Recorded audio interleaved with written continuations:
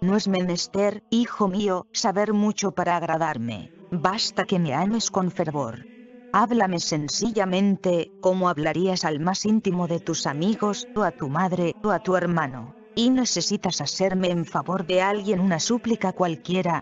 Dime su nombre, bien sea el de tus padres, bien el de tus hermanos y amigos. Dime al punto que quisieras hiciese actualmente por ellos.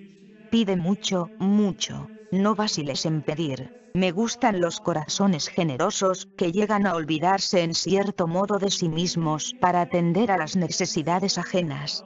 Háblame con sencillez, con llaneza, de los pobres a quienes quisieras consolar, de los enfermos a quienes ves padecer, de los extraviados que anhelas volver al buen camino, de los amigos ausentes que quisieras ver otra vez a tu lado.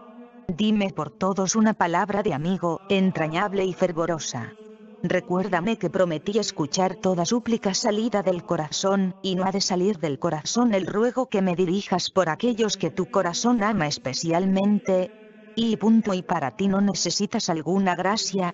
Hazme, si quieres, una lista de tus necesidades y léela en mi presencia. Dime francamente que sientes soberbia, amor a la sensualidad y al regalo que eres tal vez egoísta, inconsciente, negligente, y pídeme luego que venga en ayuda de los esfuerzos, pocos o muchos, que haces para sacudir de encima de ti tales miserias. No te avergüences, pobre alma.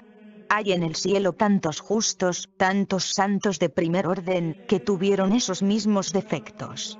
Pero rogaron con humildad, y poco a poco se vieron libres de ellos ni menos básiles en pedirme bienes espirituales y corporales, salud, memoria, éxito feliz en tus trabajos, negocios o estudios. Todo eso puedo darlo, y lo doy, y deseo que me lo pidas en cuanto no se oponga, antes favorezca y ayude a tu santificación.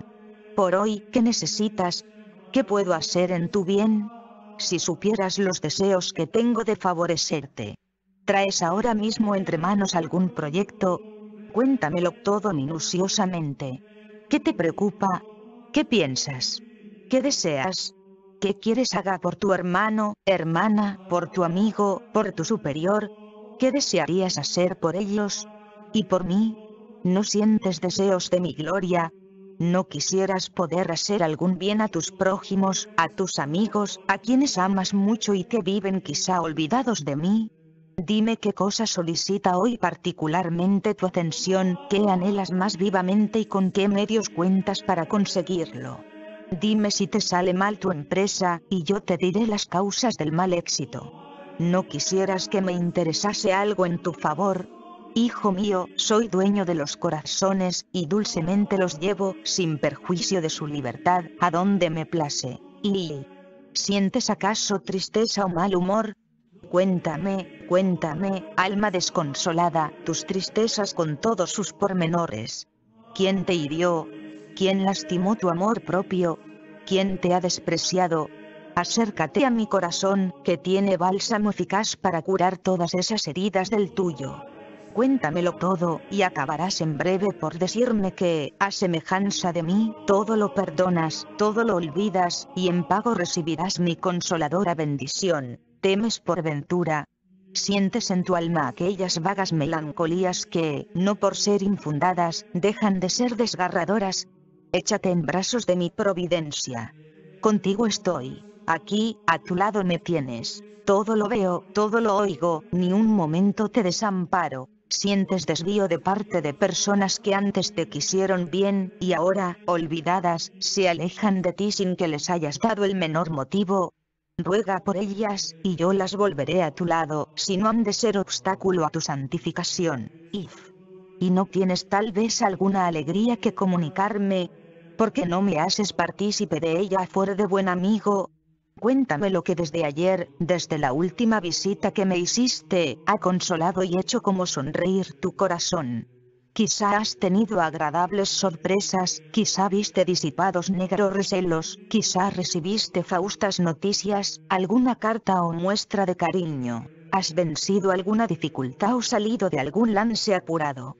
Obra mía es todo esto, y yo te lo he proporcionado. ¿Por qué no has de manifestarme por ello tu gratitud y decirme sencillamente, como hijo a su padre, Gracias, Padre mío, gracias. El agradecimiento trae consigo nuevos beneficios, porque al bienhechor le agrada verse correspondido. Ve tampoco tienes alguna promesa que hacerme. Leo, ya lo sabes, en el fondo de tu corazón. A los hombres se les engaña fácilmente, a Dios no. Háblame, pues, con toda sinceridad. ¿Tienes firme resolución de no exponerte ya más a la ocasión aquella de pecado? ¿De privarte de aquel objeto que te dañó? ¿De no leer más aquel libro que avivó tu imaginación? ¿De no tratar más a la persona que turbó la paz de tu alma? volverás a ser dulce, amable y condescendiente con aquella otra a quien, por haberte faltado, has mirado como enemiga. Ahora bien, hijo mío, vuelve a tus ocupaciones habituales, al taller, a la familia, al estudio. Pero no olvides los 15 minutos de grata conversación que hemos tenido aquí los dos, en la soledad del santuario. Guarda en cuanto puedas silencio, modestia, recogimiento, resignación, caridad con el prójimo.